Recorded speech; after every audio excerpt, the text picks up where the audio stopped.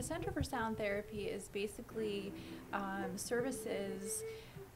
We would be in the category of energy medicine. So, what we're doing here is we are looking at uh, a person on an energy level. So, we're thinking about their biology and we're looking at um, how the energy is functioning through the systems. We create meditative experiences uh, for people that um, just need to uh, recharge their batteries, um, just find a little bit of uh, peace of mind, um, just to go back out um, into their day to day journey.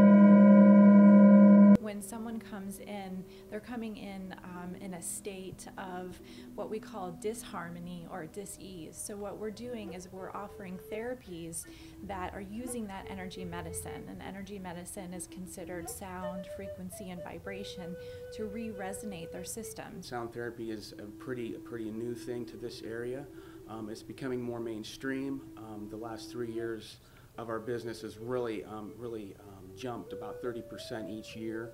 So um, we're getting more and more people coming through our doors and uh, more and more people leaving with a smile on their face. That's rebirth, renewal, um, and whatever that means to you, we want you to invite that into yourself today. We were putting together those creative videos that we're posting online on our website and Facebook. That's kind of um, the the only thing that we can do at the moment is just to use those platforms to just send out the vibrations, con- continue to offer those um, services for um, our clients, for people who need it. As the weeks went on, we're like, well, we have to stay in touch with our community and really um, help people stay in that calm state of mind um, to get through this issue if you help us, then our money is going into the businesses around us and you're helping them and then their families. So that's why I feel that it's important to support these small businesses because you're helping the area families and the individuals that actually live in the community.